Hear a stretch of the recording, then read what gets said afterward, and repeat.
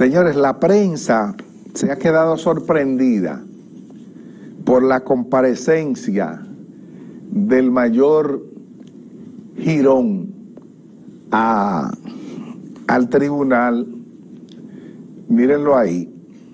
Dice la prensa que Raúl Alejandro Girón, eh, mayor involucrado en el caso Coral, ha llamado la atención esta semana luego de que llegara a la última revisión de medida de coerción contra los imputados en el caso Coral, eh, con un aspecto muy distinto a como se le conoció a principios de mayo del 2021.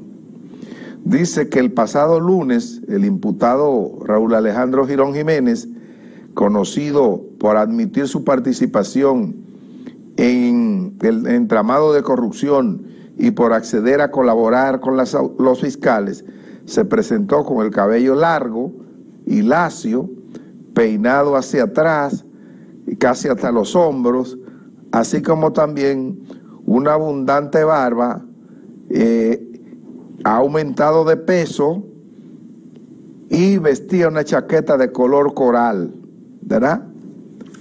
Ahí tienen ustedes cuál fue la transformación de este señor. Llama la atención para que ustedes se acuerden quién es el mayor Girón. Yo le voy a dejar un poquito de lo que él dijo cuando se estaba eh, eh, celebrando la audiencia para la medida de coerción contra el general Adán Cáceres y los suyos. Vamos a ver a, al, Girón ahora, el de antes, eh, y después pensaremos cómo sería si, con esta otra fachada. Hay cosas que los abogados de ellos no pudieron defender, claro, lo ignoraban. ¿Qué ellos ignoraban, honorable magistrado?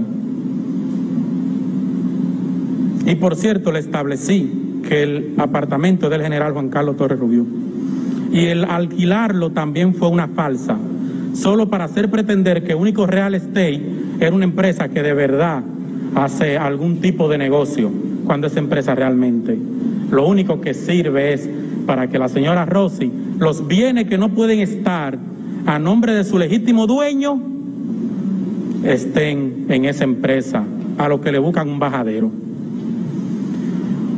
Honorable. Como dato curioso, porque ya estoy terminando, el señor Cáceres, antes del 2012, no tiene capacidad de pago para él soportar préstamos de millones de pesos. Ya después del 2012 él puede ser hasta garante. O sea, si usted hace una chequeadita rápida de todo lo del mayor general Cáceres, y eso para muy rápido, se va a dar cuenta que es a partir de 2012 cuando sale toda su bonanza. Claro, legitimizada dique por sus abogados, pero es a partir de 2012. Usted es inteligente. Hay un temita con la empresa Randa Internacional. Ay, esto sí le va a dar duro. Oh, espérese para terminar con el tema del apartamento.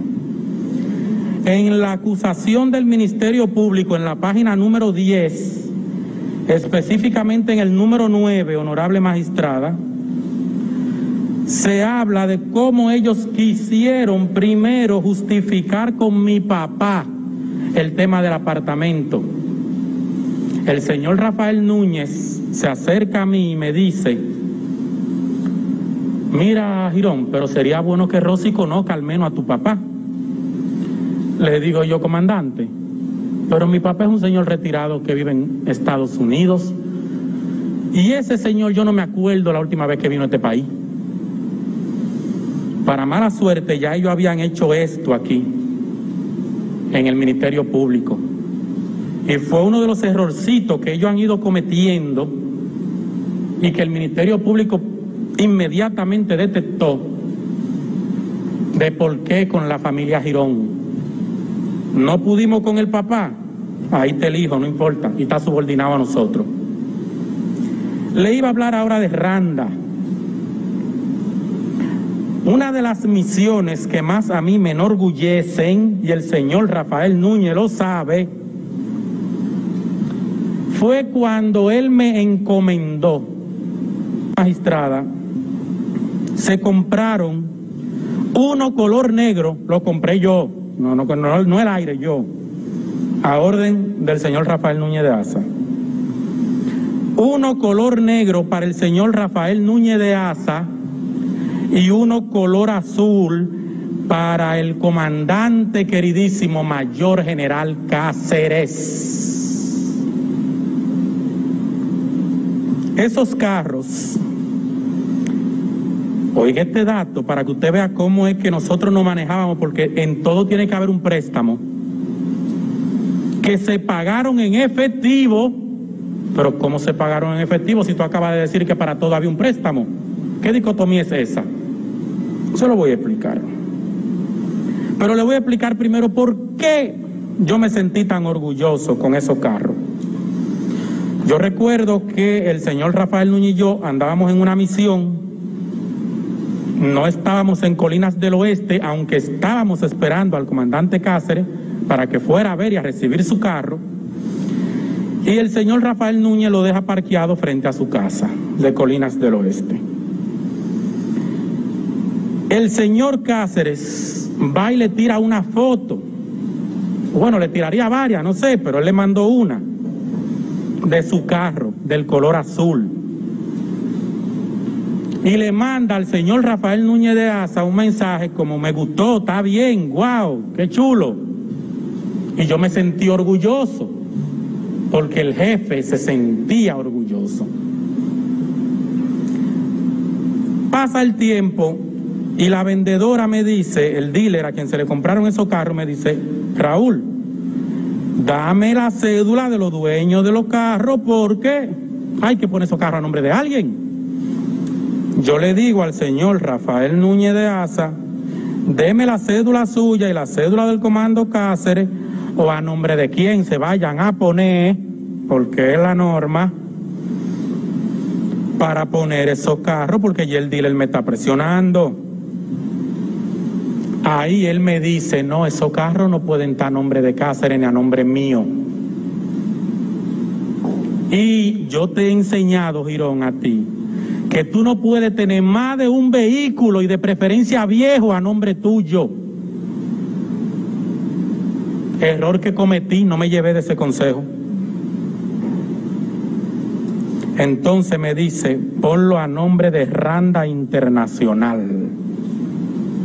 Y los dos carros, en efecto, el sobrino de él que anda prófugo, Eric Núñez, me manda los datos por instrucciones del, del señor Rafael Núñez de Asa y se ponen esos dos carros a nombre de Randa Internacional. Yo no sé qué calificación jurídica le darán a que el carro de Cáceres esté a nombre de la empresa Randa Internacional. Yo no soy abogado, ni Ministerio Público, eso es cosa de ustedes.